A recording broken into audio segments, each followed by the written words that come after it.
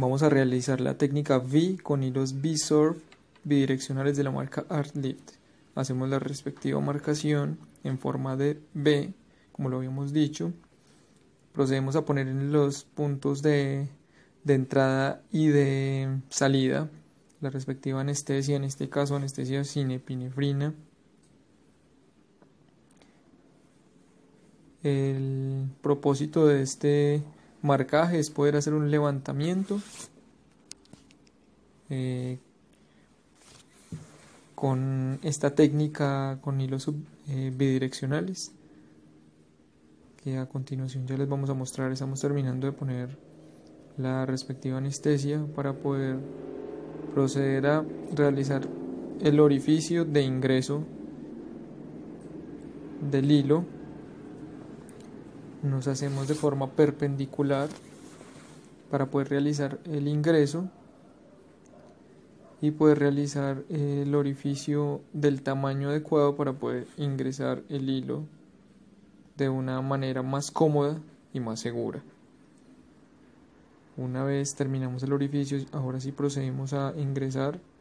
Eh, nos podemos dar cuenta que estamos eh, en la dermis cuando sentimos una resistencia por parte de la piel para el ingreso. Entonces estamos en la dermis. Tenemos que llegar al tejido subcutáneo. Entonces una vez llegamos al tejido subcutáneo vamos a sentir como una especie de, de facilidad para ingresar la aguja. Entonces la vamos a poner a 45 grados para proceder a ingresar. Entonces empezamos el ingreso eh, de manera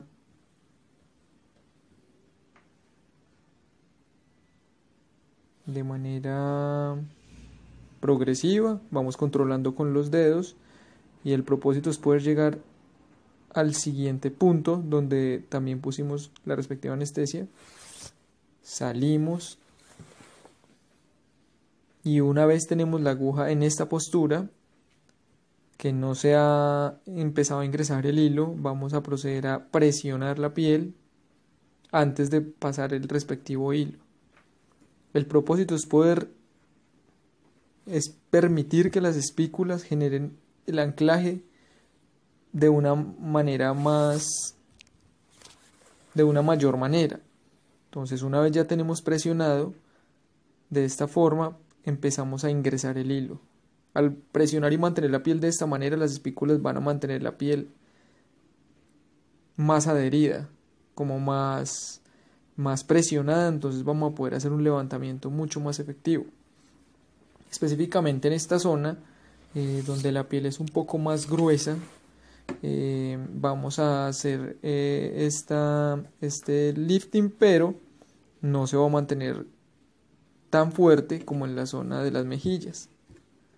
Eh, cuando estemos poniendo el siguiente hilo vamos a notar a qué me refiero. Vamos a evidenciar qué es lo que quiero decir.